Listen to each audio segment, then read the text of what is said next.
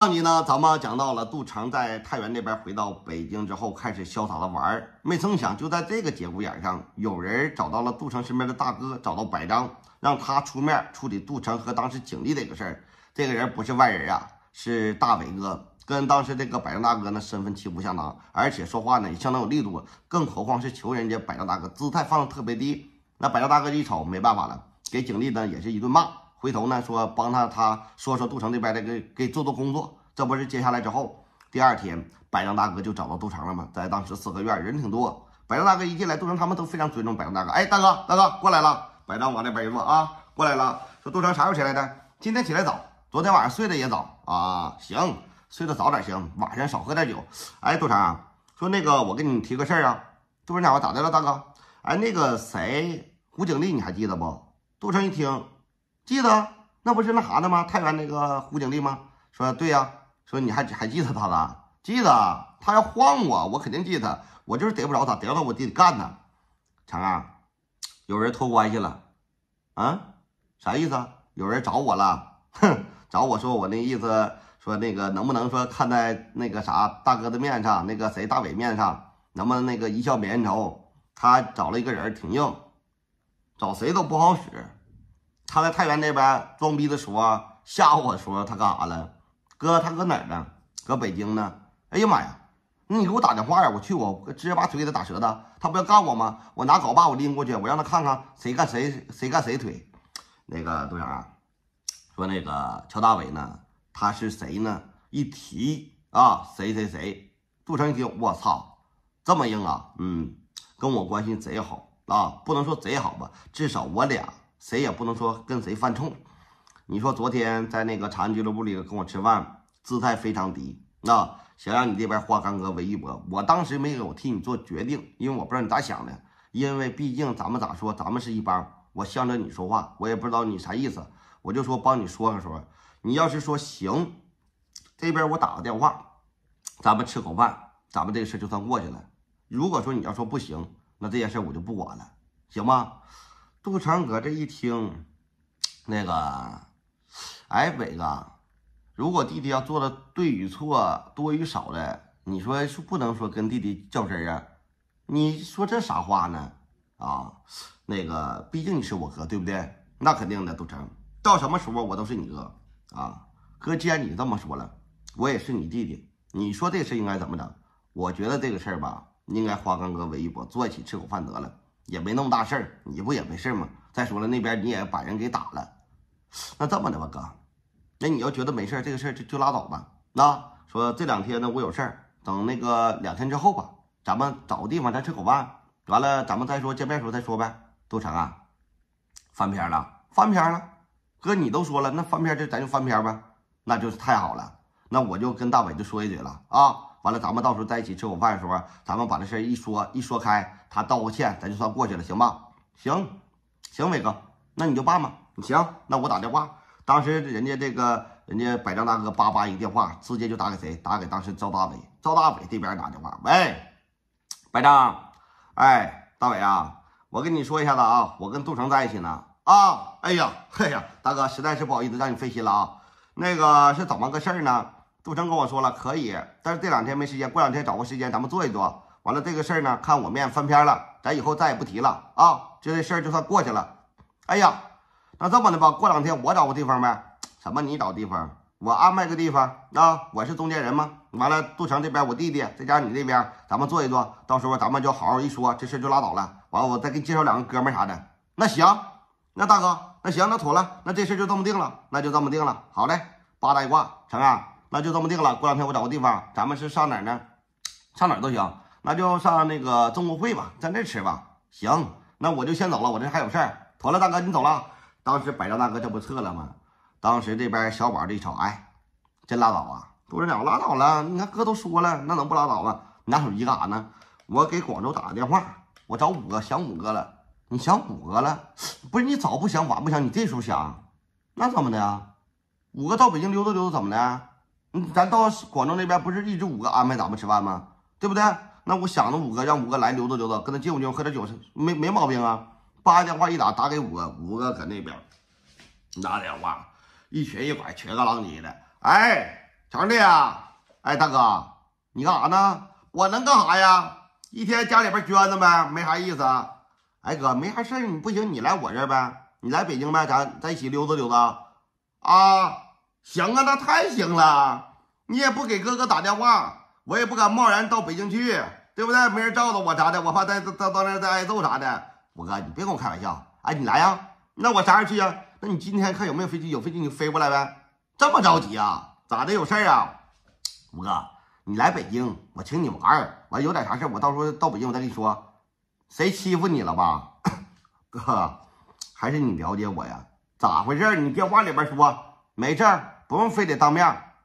这么个事儿，头段时间我上太原那边帮我一老弟办事儿。嗯，有个叫胡景丽的在太原那边拿镐把吓唬我说要把我腿打折。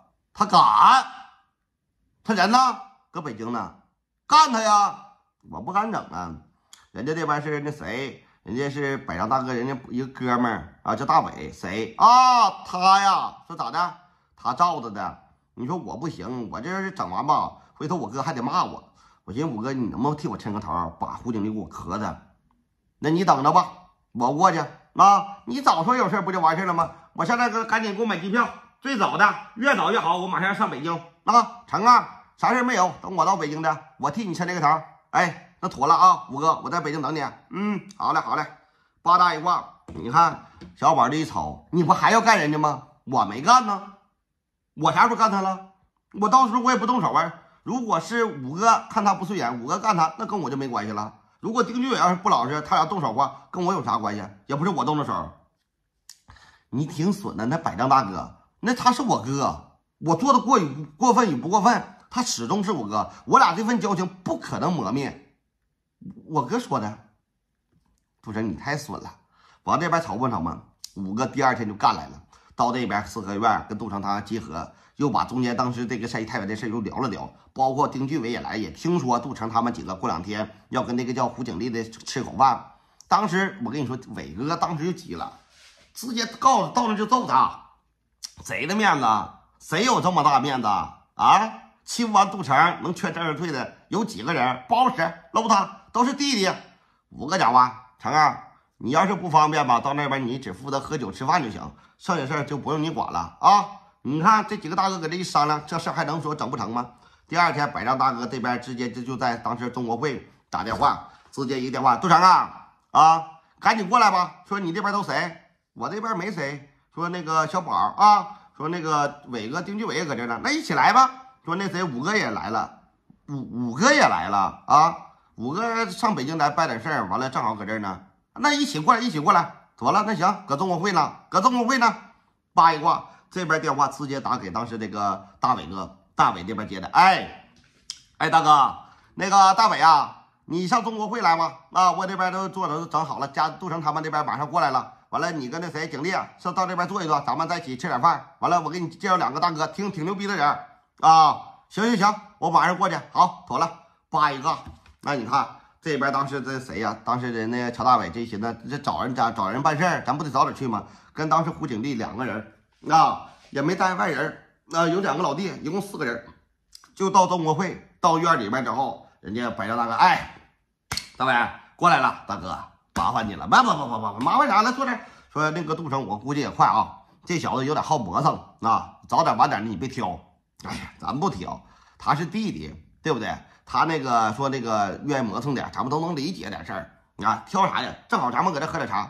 你说喝着茶，外边车叭一顶到这，杜成就下车了。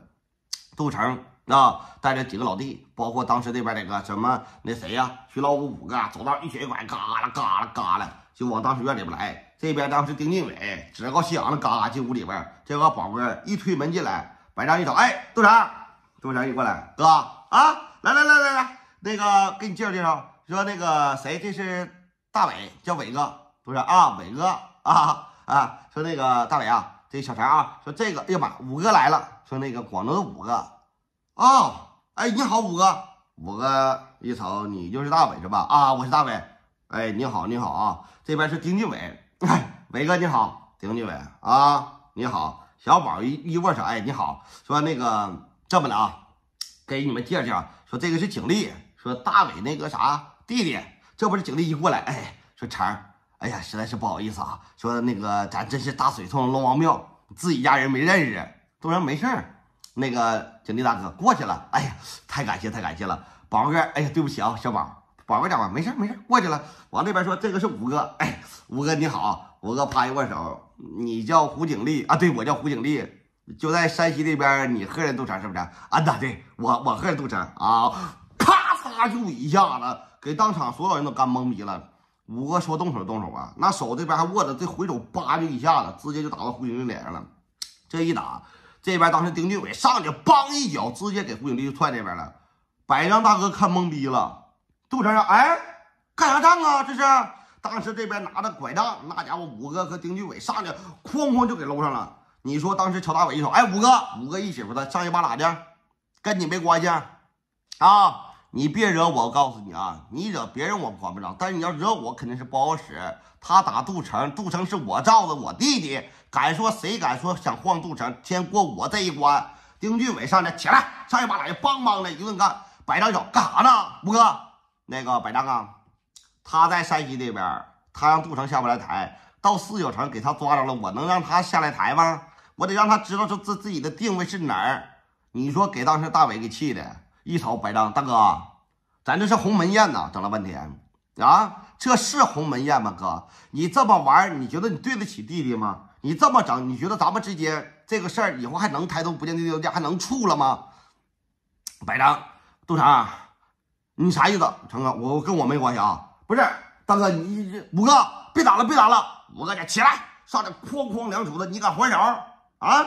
当时胡景丽有没有能力还手呢？有，但是不敢还。丁俊伟抓他，哐哐几拳子，叭叭就给搂到地下了，打的鼻青脸肿的。当时人家这边瞅吧瞅吧，一瞅百丈大哥脸一变，杜成拉倒吧拉倒拉倒吧，行了行了，都打啥样了？行了行了行了，出口气得了，也没鸡巴事儿了。这边一转，往这边胡景丽爹，瞅吧瞅吧，当时是大伟哥，大伟气的手直攥拳头，我搁这边。